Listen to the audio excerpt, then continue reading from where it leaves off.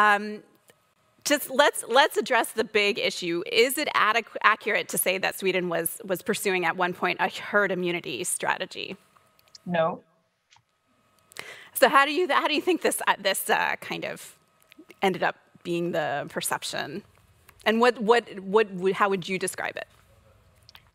Of course, we don't need that kind of rumors because that's what it is, uh, and we are trying to fight the pandemic as well as other countries.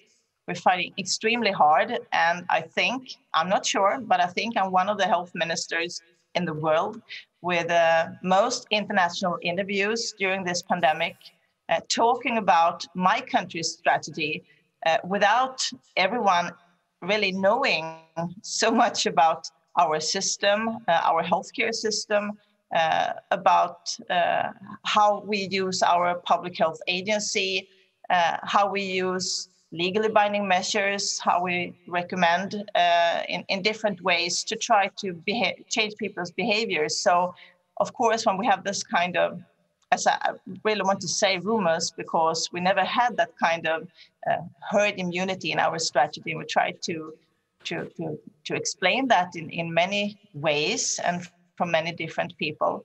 Uh, but of course, that can make it a little bit more difficult within the country to make people realize because they, of course, follow the Swedish media. Uh, the press conferences, everything, but they also uh, they're also, um, of course, listening and, and uh, uh, reached are reached by the international media and, their their headlines. So, uh, well,